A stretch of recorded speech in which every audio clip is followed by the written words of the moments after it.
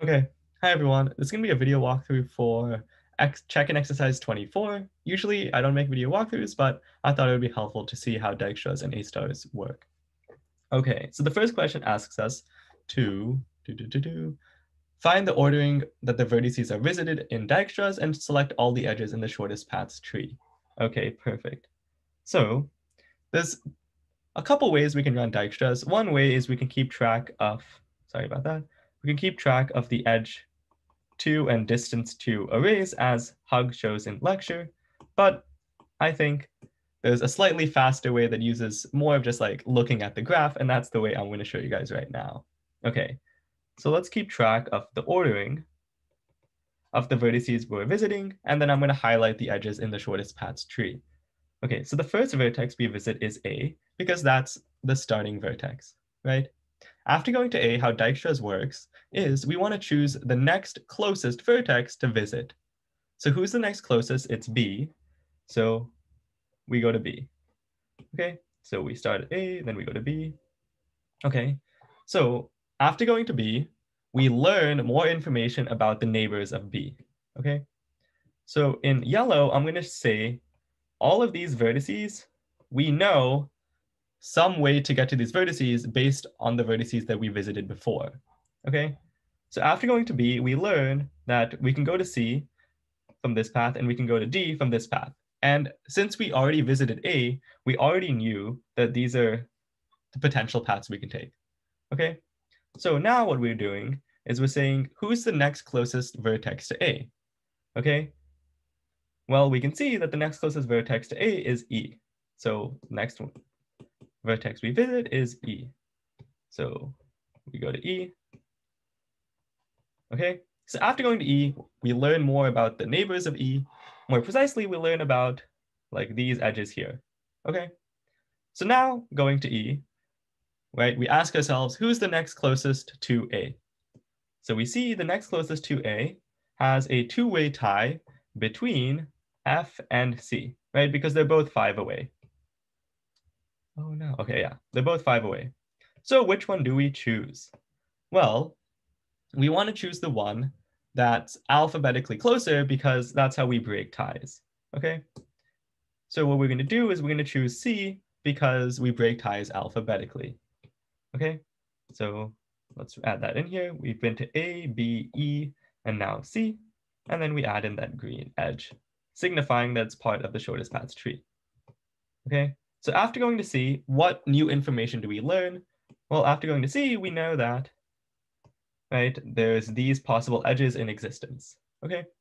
So now we need to find the next closest vertex to go to, and we can see the next closest vertex to go to is F, right?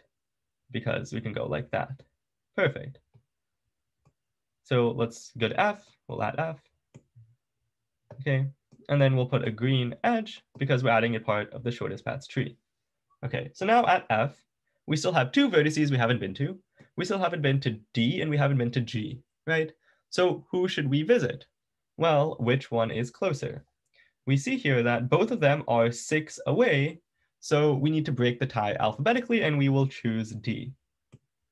So what do we do is we choose D, and then we go to D, and then we see the last person we're going to is G, and we'll probably take this edge because that's the shortest edge. Okay, perfect. So for a quick summary, the edges in our shortest paths tree are all that are highlighted in green, and the order that we visit the vertices is right here. A, B, E, C, F, D, G. Perfect. Okay, that is all for questions one and two. Let's keep going. So for the next part, we're going to be running. Okay, we will be running A star from A to D. Okay, so the only difference about A star versus Dijkstra's is in Dijkstra's, we choose the next vertex to go to based on solely its distance to A. Okay, so recall when we're running Dijkstra's, we choose the next vertex because we're saying like, let's say that we choose B and we're trying to figure out the next person to go to, we say who's the next closest to A, and then we'll choose E, right? That's how Dijkstra's works. How A star works is when we're trying to go to a given vertex, we take in consideration the distance that we found to that vertex plus its heuristic value, okay? So if we're trying to go to E, E's priority in our priority queue will be the closest distance to E plus its heuristic, okay? So if this doesn't make sense, like no worries. I think I'll walk through the example and I'll try to clear things up. Okay, so the first vertex we visit is A, right? And we see here that after going to A, we have information. I'm gonna put information in yellow. We learn information about these three edges, right?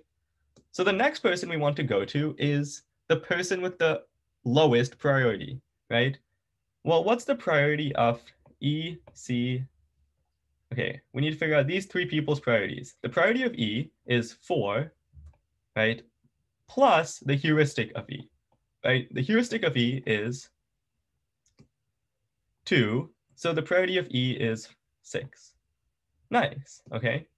And then we see here the priority of C is six.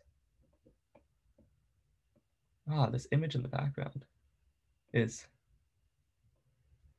6 plus 2, right? And the priority of B is 2 plus 6. Okay, perfect. So we see here the person with the lowest priority is E. So the first person we're going to visit is E, right? So we add that edge, and now we're at E, okay? So the next thing that we do is we learn about the neighbors of E, right? So we learn this information because going to E gives us more information about the rest of the graph. Now what we're going to do is we want to find the next vertex to go to based on its priority, right? So what do we do? We look at all of the vertices are in our priority queue and we choose the one with the lowest priority. So, so far in our priority queue, we have C with eight, right? Based on this. We'll put the queue here because this A star is a bit trickier than Dijkstra's. So I think it might be helpful to write out some of the queue. And then we have B is with priority eight, right? And then after going to C, okay, so after going to E, let's see what information we learn. We learn that G exists with priority six plus 12, right? Because four plus two is six, 12 comes from the table. So G has priority 18 so we'll probably put it at like the end of the queue because it's like pretty big. Okay, and then we also learn things about F. F's priority is going to be five plus five, right? So F is at 10. Okay, and then we also see that we learn information about this edge, right? We learn information about this new edge to C. And with that, we know that the priority of C is now seven, right? The reason for this is because we thought the best way of getting to C was by this edge right here, but after going to E, we see this is a better way of getting to C, so we update C's priority. Okay, perfect. So with this in mind, now we have this updated, okay, give me a sec, I'm gonna get rid of these black edges. Okay, so now we have this updated priority queue, so we can remove the minimum right? And we see the minimum is C. So the next person we go to is C, right? And after going to C, we learn information about the neighbors of C. More precisely, we learn about these edges, okay? So what do we do? We update the priorities in the priority queue, and we see the priority of B doesn't change. The priority of D changes because D didn't exist before. So D's priority is now going to be 5 plus 3, 8 and then we'll put it, we'll put B to the left of it because B is alphabetically greater. Okay, perfect. And then we also learned something about F, but it's not really that useful because we already found a better way to get to F via E. Okay, perfect. So now we remove the minimum in the priority queue, so we remove B, right? And then we figure out that. Okay, so we go to B using this right? And then what we're going to be saying, okay, we also need the green edge here.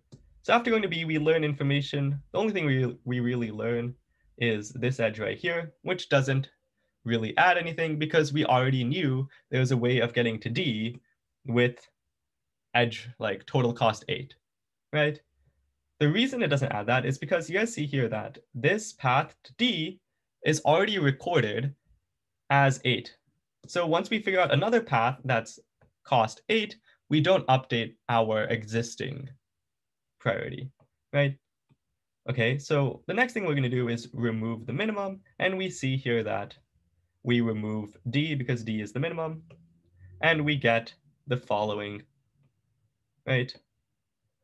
And then in order to get to D, how did we get there? Well, we took C like this. Okay, so what we notice is that the ordering that we visit the vertices, we first went to A, then we went to E, then we went to C, then B, and then D, right? Okay. That's the ordering that we visited them. And after running the shortest paths algorithm, after running A star, we see that the shortest path we found from A to D is this green path, right? Okay, perfect. So we figured out the ordering, we figured out the shortest paths, but it may come to your guys' attention that the actual shortest path to get from A to D is if we go via F, right? But for some reason, A star didn't find this path. Instead, it found a suboptimal path. The reason for that is because F's heuristic is too high, right? If F's heuristic is five, what that's saying is that the path from A, E, F, D, or A, E, F, is going to be at best 10. Okay?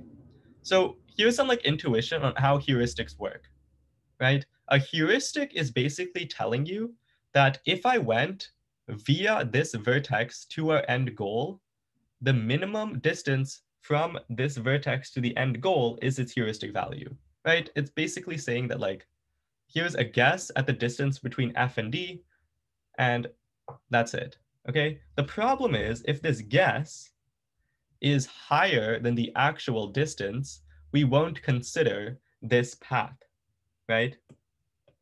So we don't consider this path because we already found a way to get to D that's cost eight. And according to our heuristic, the best possible way to get to D via F is five plus the heuristic of F, or it's five plus five, right? So this is the best, uh, best time to get to D via f. Okay, so that's generally what the heuristic is telling you. It's saying if I take some vertex, what's the fastest possible time I could take to get from my start to the end via that vertex? And that's what the edge, the distance to that vertex plus the heuristic of that vertex is giving you. Okay, so we see here that when the heuristic of f is an overestimate, right? It's more, right? Five is more than the actual right? Because the actual is one, then we don't consider the shortest path.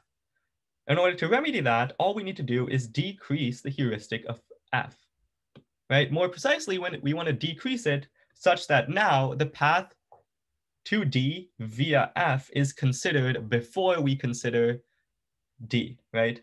We want to consider f in the priority queue before we remove D from the priority queue, right? Recall that D was in the priority queue with priority 8. In order for F to be considered before D, F must be in the priority queue with a priority that's less than D's, right? So the highest priority that F could have such that it's removed from the priority queue before D is 7, right? In order for F to get a priority of 7, it, we know that the distance to F is 5, so then the priority of f, right? This must equal 7, so we see the heuristic must be 2. Okay, so if we change the heuristic of f to 2, now what's going to happen is that f will be removed before d. We'll figure out there's a better way to get to d via f, and we'll actually find the true shortest path to d, right? Okay, so that's basically all. To recap, the answer to the last question is F colon 2, and this is a very tricky question. Yes, yes. Hopefully this helped a bit. All of this stuff is pretty fun, but it's definitely on the confusing side. So feel free to like come to office hours, come to a live QA if you guys have questions. Yep, that's all. Have a good one.